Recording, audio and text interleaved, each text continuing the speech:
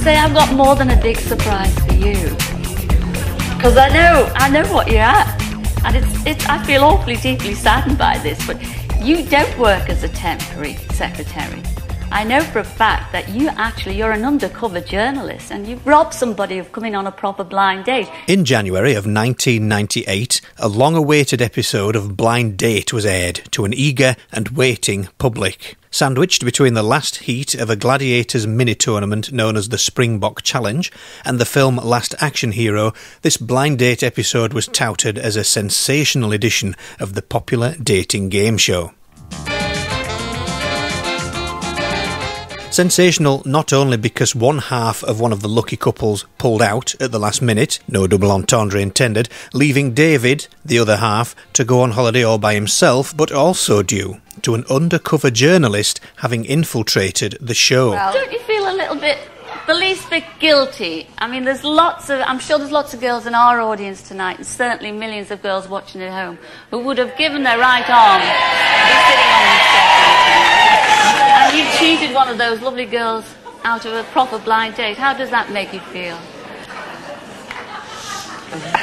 Nicola Gill picked out Paul Mankelow ahead of two other guys on the show, and the couple were sent on a trip to the Isle of Skye. Hi. Hi. Welcome to Flodigarry Hotel. My name's Boyd. Hi, Boyd. I'm Paul. Let's come in. Can I take your bag for you? Thank you very much. Thank you. They went on bike rides together, visited a distillery there, took a boat ride to see the seals, and seemingly had a really nice time together. Look. Oh, yeah. Waving hello. Hello. Well, they were certainly flying high on their date, but as far as love was concerned, was the sky the limit? Well, Mr. 90s haircut here was certainly enamoured with Nicola, although she seemingly wasn't all that fussed about him. When the screen went back, I thought that uh, Paul probably wasn't the man of my dreams, but he looked really nice, and I thought I could definitely get on with him.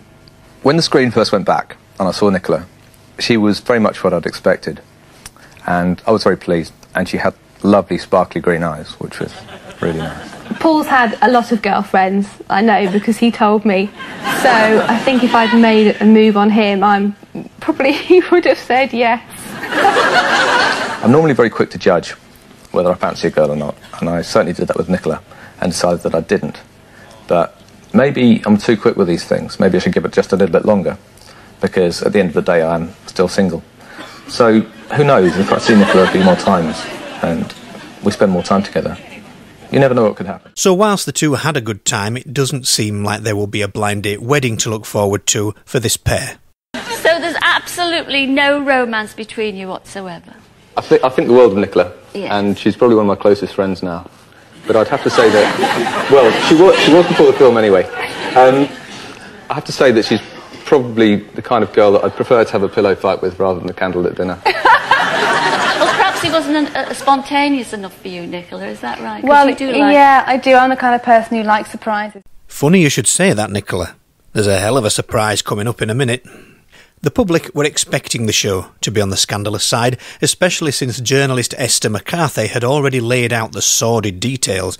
Headlined, I bonked blind date cheat, the article was a kiss and tell from Paul, the unwitting pawn in the undercover journalist's game. Cosmopolitan writer Nicola Gill hit headlines earlier this month when she became the first journalist in the history of Blind Date to bluff her way onto the top show as a contestant. She pretended that she was a temp, and the sting, detailing many of the secrets behind the show, infuriated blind date bosses and gave Nicola instant fame and notoriety. But now it's Nicola's turn to be stung, for the man she picked on the show has kissed and told and claims that they had a passionate three month affair, even though Nicola is engaged to her long term boyfriend. The revelations about their sexual relationship was made by heartbroken blind date contestant Paul Mankelow, who fell for Nicola when they went on their date to Scotland. Now, the 27 year old blonde from London has got some explaining to do to John, her fiance. And millions of viewers of the ITV show will see her caught red handed by Cilla, who discovered she was a journalist just before the programme was recorded, when it's aired in January. Writing in the current issue of Cosmopolitan, Nicola says, Being forced to spend so much time with a stranger in a situation where everyone wants you to fancy one another is strange. We spent the flight doing a magazine quiz with me asking him extremely intimate questions about his sex life. Turns out he's a red hot lover with a touching romantic streak. I can't help wondering what I'd think of him if we were really on a blind date. But, according to Paul, Nicola found out because he says they slept together and continued to have a relationship when they returned home. We were flirting discreetly with each other, and I sensed that Nicola was interested in me, said Paul, who knew she had a boyfriend but didn't know she was engaged to be married. I leant forward and kissed her. I knew I was making a big mistake because she was already attached, but she didn't seem to mind, so I kissed her again, this time for a little longer. Nicola never raised any objection. We eventually went upstairs to her room and lay on the bed, kissing and petting. It soon got to the stage where a decision had to be made as to whether we were going any further, and I told her the choice was entirely hers. She, after all, had the boyfriend, whereas I had no attachments. I went to my room for ten minutes to give us both a chance to think, and then, when I returned to Nicola, she said, Before anything happens, I'd better tell you that I'm a journalist from Cosmopolitan magazine. I thought she was having me on, and to be honest, at the precise moment her occupation wasn't uppermost in my mind. We kissed again, and as one thing led to another, we ended up in bed. I had taken condoms with me because it was in the back of my mind that there was a slim chance I might need them, but when I brought them out, Nicola said, It's very sweet of you to offer, but I don't like using them. Later, Paul said, Nicola told him that her boyfriend was actually her fiancé.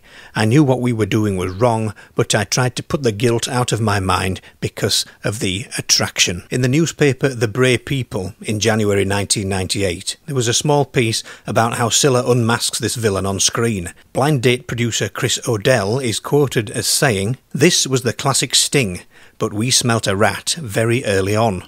Here's how the villain was outed. And remember, at its peak, this show was getting something like 15 million viewers. Well, Nicola, I have to say I've got more than a big surprise for you. Because I know, I know what you're at. And it's, it's, I feel awfully deeply saddened by this, but you don't work as a temporary secretary. I know for a fact that you actually, you're an undercover journalist and you've robbed somebody of coming on a proper blind date. You work for Cosmopolitan magazine. She's a journalist, ladies and gentlemen, not a blind date at all. Is that right? Yes. Is that right? Are you being serious, Philip? I am being serious, yes. I am being serious.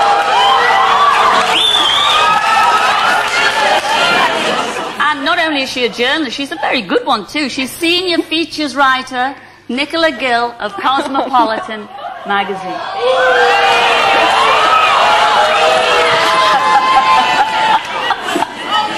Oh, Nicola, how could you? Actually, I'm quite looking forward to it. I'd love to be in Cosmopolitan magazine. I love that magazine. Sorry. It begs the question, why? Oh, outrageous. I'm sorry. Oh,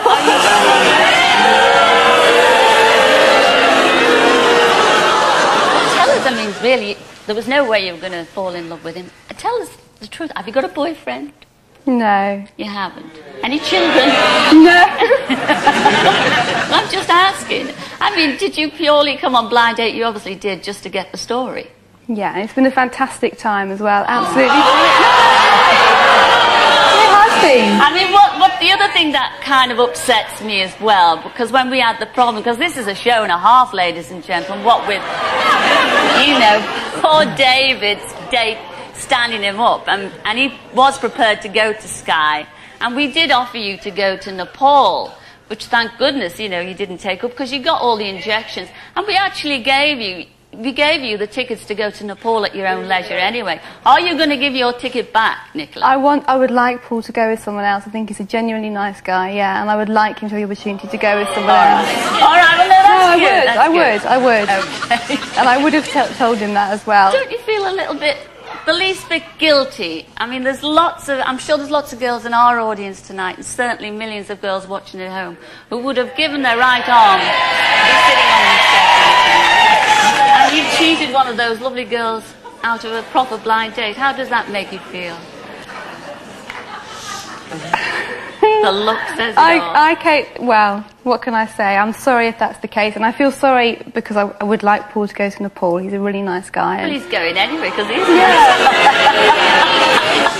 well, what can I say? I, well, I hope you write a nice article. well, I've had a fabulous time, and thank you, Blind Date. That's all I want to say. Now, it can't have been an easy feat to infiltrate the show since there were supposedly rigorous vetting stages to get through to weed out reporters and the media in the first place.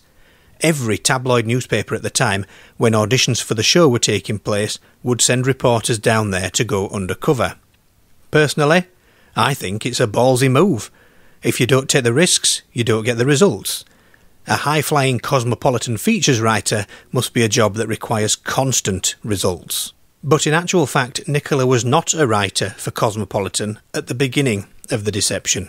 She in fact worked for the Daily Star when the plan was first put into action, posing as a temp who worked a few months and then took off to travel the world before returning to work a few more months and repeat the cycle, Nicola found herself in a drafty church hall in Guildford among a crush of enthusiastic audition goers at the beginning of what would be an 18 month audition and selection process. Some time after the first audition, Nicola landed an interview with Cosmopolitan, using the impending big story as a lure to get the job, which she did. So this story is now yours. You're the journalist that's going to pull this Yeah. off. You were the picker, just to remind. So Yeah. you didn't need to be No. picked. There was an extra dimension to it, which was that I had also shifted at GMTV as a freelance producer, which was filmed in the same building. So I knew people in that building. No. So I think I was so scared that somebody would come up to me and say, Hey, Nicola, when I'm actually a temp, supposed to be a temp from Guildford. So the burning question is how much of blind date is real and how much is a fix? I was heavily steered towards one person. You were. I was, yeah. That's so disappointing to learn. So how was the deception uncovered? Was there a mole, a leak, a little telltale? actually somebody who worked at Hearst, not at Cosmo, but somebody who worked at Hearst, Hearst is the parent company. the of parent company, yeah, had found herself at a party by sheer fluke with one of the producers of Blind Date and had basically been a bit worse for the wear and said, you know, "I- I've got a secret. And then got progressively worse for And wear through the in? night and just, yeah, spilt the beans. Well, what can I say? I, well, I hope you write a nice article. Well, I've had a fabulous time and thank you, Blind Date. That's all I want to say. Nicola, I like you very much. I still like you because you've got that lovely smile, lovely personality. But it's just a shame that you tried to pull the wool over our eyes. But you didn't. You and I'm Ladies and gentlemen, Nicola and Paul.